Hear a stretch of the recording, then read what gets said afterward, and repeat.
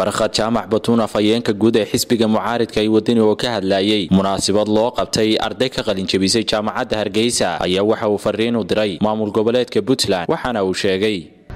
Dowladda puntland ayaan doonaya inaan bartan maanta baaq uga diro waxaan leeyahay ishaysadka axsaabta iyo xukuumaddu ha ku kalsoomida annaga madaxweynaha iyagu waxa weeya waa muuse biixi cabdi mucaarid iyo muxaafidba isagaa madaxweyne isagaanu ku taageersannahay inuu qaranka hago markaanu t v-ga ka hadlayno ee aanu maagayno wallahi jeclaanu ka qabna xumaan iyo cuf aanu hayno maa isaguna inuuna dhegaysto oo qaranka geestiisa uu qaato xaq baa loogu leehay marka waxaan leenahay waxa yaryarana dhex maraya.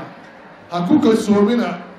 Mashaqadaad ka wadaan gobollada barigana faraha ka qaado. Taa horta ku fiicana markay noqoto arrinta qaranka xisbiga wadani principalkiisa koowaad waxa weeyaan waa mudnaanta qaranka. Ma aha kursi fuol ma aha dad kala qaybi waa mudnaanta qaranka iyo wadajirka dalka iyo dadka. Annaga taasaa noo mudnaanta. Haddaan kursiga ku waayni haddaan ku helaynaba farinteedu waa taa sidoo kale afhayeenka guud ee xisbiga mucaaridka ee wadani oo munaasabadaasi hadalkiisa sii wata iyo waxa uu ereyo kaftana iyo dardaarana u soo jeediyey madaxweynaha somalilan muuse biixi cabdi.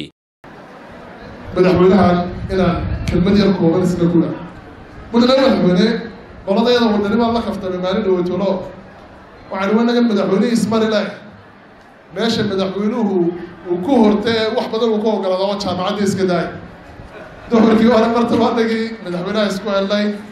Waa kii keenay barnaamij qaran oo runtii aada u qiimo badnaa aniguna anigii bogaanay mushkiladda maamkana haysato dhowr arrimood. Midi waxa weeyaan waa taa doorashada oo ilaahay ka rajeyna inaynu xal ka midina waa xalinta mushkiladda bariga taaba.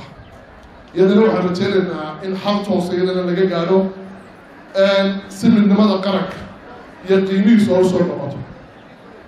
Qolada reer burcana waxoogaa markay madaxweynaha dacaadeynayso u fuliyo waxbay sheegi jireen laakiin anagu maanta waxaan leenahay muuse muftax noqo maanta oo hawlaha naga kala marka madaxweyne waanu kugu ciiraynaa waxaan u baahannahay arrintaa caalana inaga afmeel ilaahay khayr ha ku siiyo qolada bariga la sii eriyana maanta barxaal biciyo wixii qadafee dhacay inaanad qabin iyo dhalasha